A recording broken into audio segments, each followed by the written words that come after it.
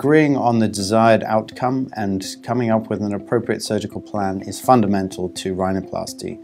There are many ways we achieve this. The first is that I'd like to know exactly what sort of look patients are after, what the issues they are, are with their nose, what they don't like, what they would like changed.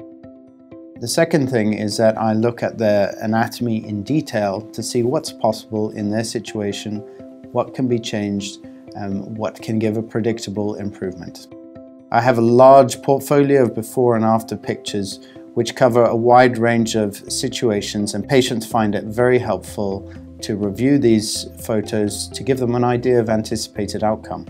I also find it helpful for patients to bring in goal photos, photos of noses that they like and that they think are desirable.